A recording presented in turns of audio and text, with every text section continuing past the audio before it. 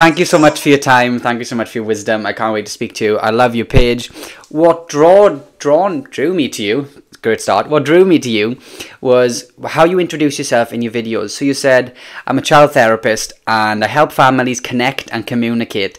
And that's all we need is that communication, that connection from our parents. It sounds so simple, but the way you put it in all your videos, I love. And I just had to get you on to share your wisdom. So without wasting anyone's time, without wasting your time, let's get straight into it. Can we speak about the whispering method? So for me, um, as a child, I had a very active imagination. I was always writing stories about how me and my friends had superpowers. I could sit in a room and play with my toys for hours and hours and hours. So now that I have kids, I find it easy, I will say, to sit on the floor and play with them. And sometimes I get carried away and play too much on my own. um, but not a lot of parents are like that. Can we talk about first the whispering method that you talk about, please? Yeah, sure, sure. So usually what you're supposed to do is follow the child's lead when playing but like what you said like often parents kind of struggle with like this uncertainty of like you know where is this going what am i supposed to be doing but like when you ask those questions like you're putting this pressure on this kid to like help me help me help me and they're so like they're not focused on their play and playing is where they are able to help make sense of the world communicate with you and and process everything going on. So like when you're asking these questions like oh what am i supposed to be doing? What is that? What is this? It's they're not be able to to focus focus on it. So like when you whisper it's kind of like i think of it like like an actor like what's my line? What am i supposed to do? So kind of it doesn't pull them out as much as, of their play. So it's just like hey ben what am i supposed to say next? And it's like oh okay. It's like then then you just yeah. kind of get on with it. So it, it's it's it's kind of like a role play and that's sometimes yeah. how i try to frame it too of like you know you're you're kind of you're you're you're playing a role you're you're mirroring kind of what they're doing and you're really supposed to help them provide an environment where they're free to feel what they feel and think what they think and and play what they want to play. Yeah Great, perfect advice. Thank you. I, I, I think I've done the same, like unintentionally. So I haven't whispered, but I've asked like quieter questions. So when I've been playing, and I'll be like, "Which one do you want me to be? I'll be this one. Oh, do you mean to get in the car too? Okay." So it shows that, like you said, they are in, and I, I think I can't remember how you worded it exactly in one of your videos, but you were going into their world with them. Mm-hmm. You, so you're showing them you're not separate from that, which is fantastic advice. What about parents who, and a lot of people that follow me, unfortunately, had bad upbringing and didn't have the parents like like they should have had, like they deserved. Didn't have that unconditional love and freedom that they should have had. So what about the parents who can't get down and play with their kids? Me personally, the advice I give is if you feel awkward, play pretend with your kids. If you feel awkward trying to use your imagination, your child doesn't know. If you get on the floor and you think, oh, what do I do next? What do I do? Are they enjoying this? They have no idea that you're panicking there. What advice for, would you give to parents who feel uncomfortable or even just don't know where to start when it comes to playing with the kids? Mm-hmm. Yeah. So in one of my videos, I, I talked about like the pride skills, P R I D E. So praise, like you can even just, you don't even necessarily have to play with them. Like you can just sit there and just, just observe them. You can praise them. You can reflect what they're feeling, what they want, what they wish through their play. You can imitate. So you can do kind of something similar to what they're doing as a way to kind of implicitly like approve that what they're doing is fine and okay and keep going. Uh, d is describe so just describe what they're doing like like narrating kind of their play like like a author would or like national geographic. Uh, and then e is enjoy. I mean just simply just enjoy being around your children because they're amazing human beings. Um, but it, if you can't then then sometimes it's important to kind of meet parents where they're at because you know it's important that they enjoy it and that they are able to do this. So it can be either like role playing you can play board games you can play card games something with more structure with less imagination. Um, but like if they're working with me like we will work together with the kid like the three of us and and play together and they can observe me and kind of what i'm doing and how i'm working with them. Um, doing it online is a little bit trickier so like so ben i said i was going to put you on the spot like because eh, like some of the some of the principles and i've seen i've been seeing this more in the comments and so it kind of kind of confirms my theory of like it's kind of like improv comedy where it's like don't say no don't block their play don't try and change directions like just say yes and and keep going with it like go with the flow. So you know people with a lot of traumatic upbringings you know all that uncertainty all of that all those surprises those those often come with a lot of bad stuff. So you know just not knowing what to do can be like triggering. So but if you're able to work through that and get comfortable with this this uncertainty then you're able to enjoy your time more with your children. So i said i had an activity uh, and this this comes from improv too where you know we can come up with a story or we can come up with a sentence and you say one word i say another word and we keep going back and forth until we create you know a sentence a paragraph. Okay so cool. so i'll i'll go first. The little? yellow frog. Man. Loved. His. Little. Boy. And. Kissed. A. Green. Pretty. Princess. Well, how about we can just stop there? But that see, yeah, that's cool. Yeah, that's cool. Yeah, it's like we, we just we just flow together. Yeah, I, I do something similar with my daughter. Um, some nights, so I'll I'll say, "Do you want me to tell you a story?" And she'll say yes. And if we if we're in bed and the lights are out, because um, we our daughter sleeps in between us in bed, and I'll start telling her a story about a princess called Piper or a stinky bum called Piper, which is my daughter's name. Um, and I'll say, right, we Piper goes to the park, and then I'll say she goes on the swings, and then she'll go, Mickey. And I say, yeah, Mickey Mouse is there. And Mickey Mouse goes on the swing. And then she'll go, friends? I'm like, yeah, all your friends are there too. So we sort of the same thing un- unintentionally. What I think also has helped my daughter's um, imagination I'm saying my daughter instead of my son because my son's only just turned one. What has helped my daughter's imagination a lot is I will, when she's playing with her, with her toys, I will hold her toys and I will either sing songs from a Disney film she likes watching or I will reenact certain things from the movie. So she links them. So even if it's just having two random toys and she was in a massive baby shark phase, which is not completely out of. And I'd have two toys and I'd go run away do do do do do and then she would do it with herself so we'd encourage her and now she'll now she talks for hours on her own she can be we can go on a car journey and she'll just have a full on conversation with herself in the back playing um, okay so a lot of my followers unfortunately page is called trauma corner um, again they yeah. did they didn't have the parents that they deserved um, and to start when they become parents maybe they weren't the parents that they that they could have been uh, but now they're working on changing that, working on becoming better parents themselves. So you talk a lot about how to detect emotional abuse in children and what that looks like, even if it's from the past way you used to parent and now you're trying to change that, or from other members of the family, or if you're separate from your from the baby's parent, and then um, from anyone really. How do you pick up on that, and then how do we how do we detect it and heal, if you don't mind? Uh, detect it in kids or kids? Yeah, sorry kids. So oftentimes, like if I'm working with them, it shows up in their play because, you know, they'll treat something uh, less powerful or something that kind of symbolizes them and they will cut they will take the role of the abuser and it's like you know you stupid and it's like oh okay like um but oftentimes it can show up a lot more subtly with just being low confidence not being able to identify feelings it's either like good or bad. Uh, they can either be explosive or implosive so like they can lash out at others or they can lash out at themselves. Um, let's see.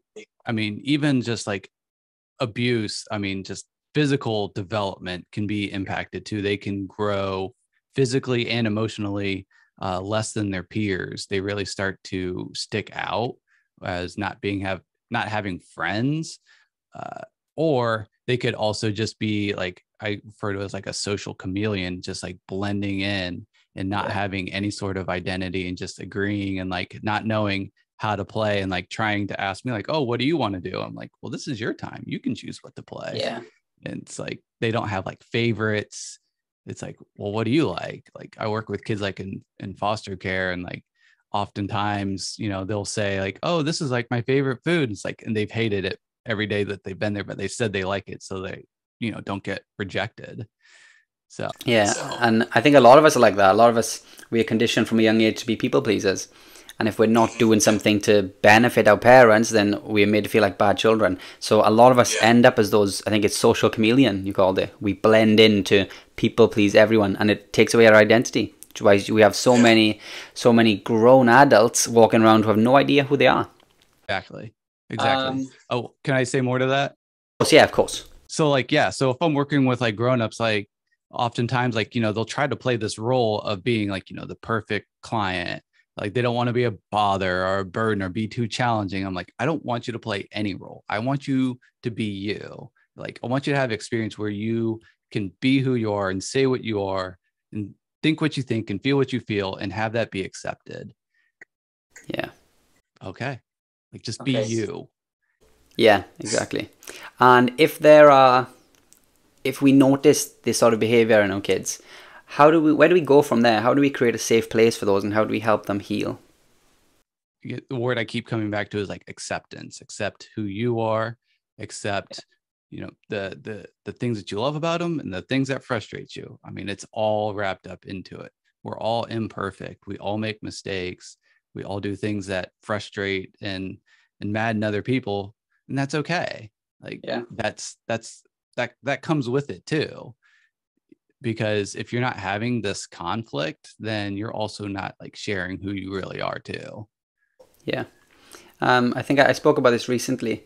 Um, how especially when we have we try not to be like our parents. So we if we had bad parents that is. So we cling on to the bad bits of parenting that we do and think we're really bad parents. We forget about all the good stuff having kids is really fucking hard it's really challenging my daughter is two and a half now and she's wild. She will not listen to a word you say. If she's running off somewhere and you tell, you can shout at her, grab her arm, ignore it, whatever you do, and if you shout at her, she will just do the same thing, but just goofy.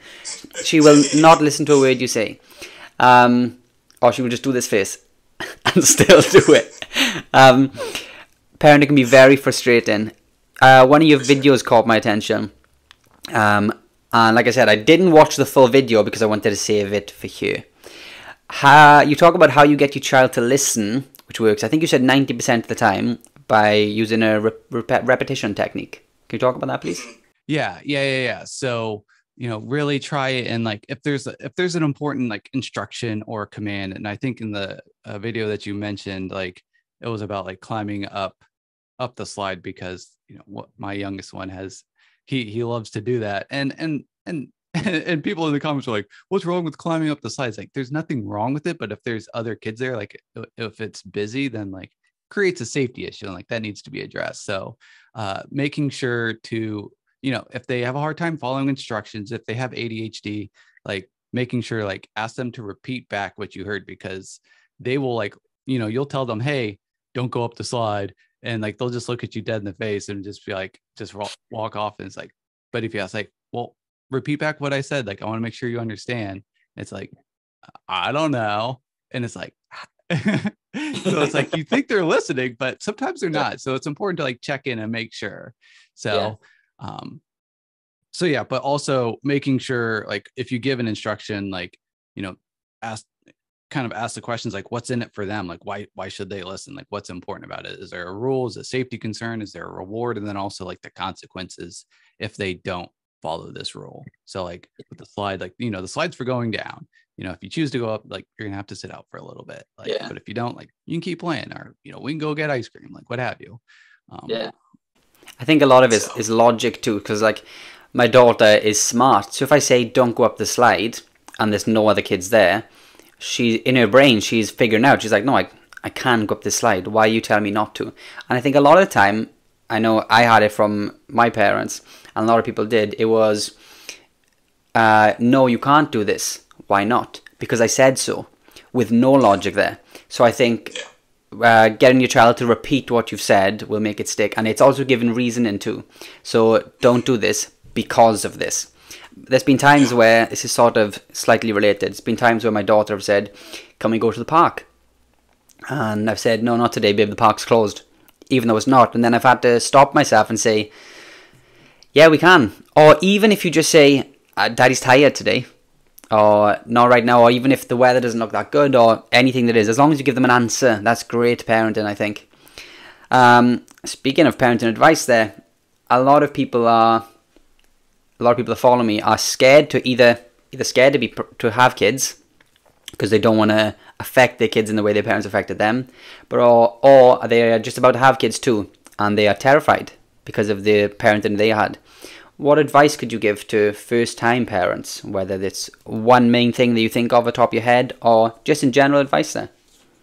So I think I think probably the two biggest things that like how trauma like affects just people in general and, and especially like with parents is like toxic shame of this feeling like you know i'm damaged i'm unlovable i'm you know shame with parents like i'm a bad parent and then um, uh, the second one is a harsh inner critic so really just beating yourself up over the smallest mistakes and like so so with that like it's important to have community and it's important to like you know one of the things i've loved about being a child therapist is like seeing like how common a lot of these um, a lot of these situations are where people just make mistakes and it's like oh you know i'm the worst parent ever. Like they just shower themselves in this criticism. It's like but if you saw like everyone else does it like you'd be kinder and gentler with yourself and be able to, to laugh at it too.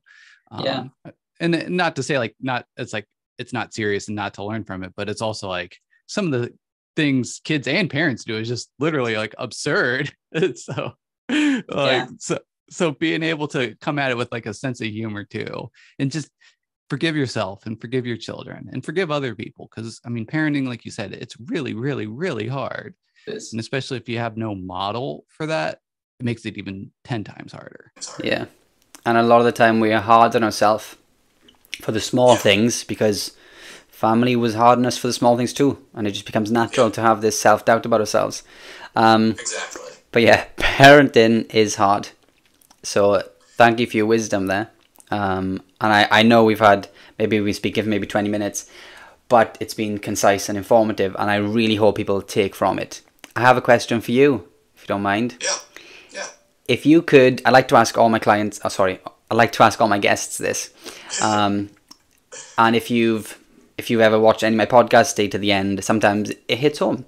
So I'd like to ask you if you went forward into the future to where you were 80 years old and you looked back on your life at this moment, what would you be proud of?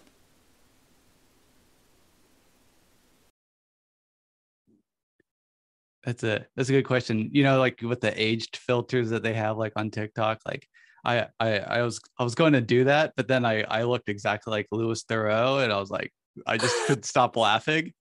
So but uh, but if my 80 year old self were to look back on this moment, um, I think he'd say he's pretty proud of me for putting myself out there.